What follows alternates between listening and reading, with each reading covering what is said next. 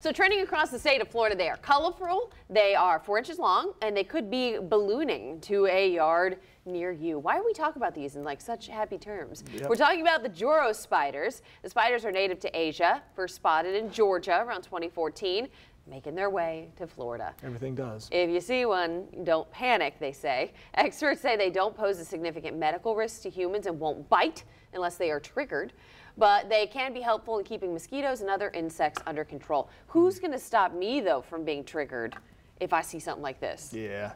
They're not going to hurt you, but if, if one of those, like if I walked through its web and it was on me, I would, have a heart attack. I would be injured so there would be there would be problems. There is nothing. I, am telling you, folks, there's nothing worse for me. Like I'm not necessarily terrified of spiders, but it just gives me the heebie-jeebies.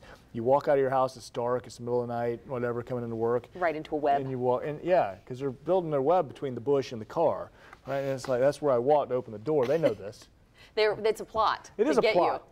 And it's this continued back and forth we have. Like they built this now, they spent all night building it, then I destroy it, and they're coming back tomorrow.